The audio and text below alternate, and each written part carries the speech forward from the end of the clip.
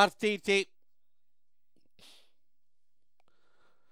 al comando Zenas poi dall'esterno è Mikai che gratamente si porta a condurre davanti a Be My Whisper e Zenas al suo interno, poi Excellent Beyond con all'interno Refuse to Bobbin, segue Virtual Game, Relco Germany e Bianco Coniglio.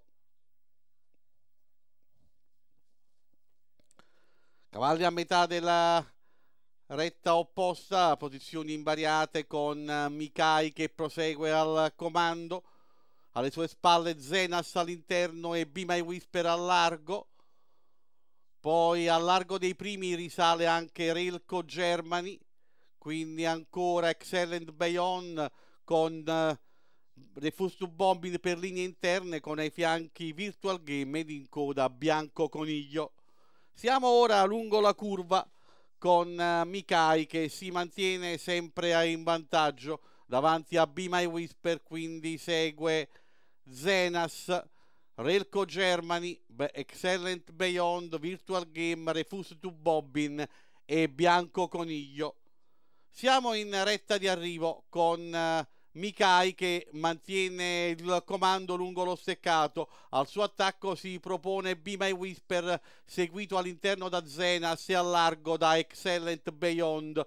Più indietro Refuse to Bobbin che risale con all'esterno Virtual Game, poi Bianco Coniglio e Relco Germany. Siamo a 300 dal palo con Mikai che subisce l'attacco deciso da parte di Excellent Beyond. Più all'esterno ancora Refuse to Bobbin.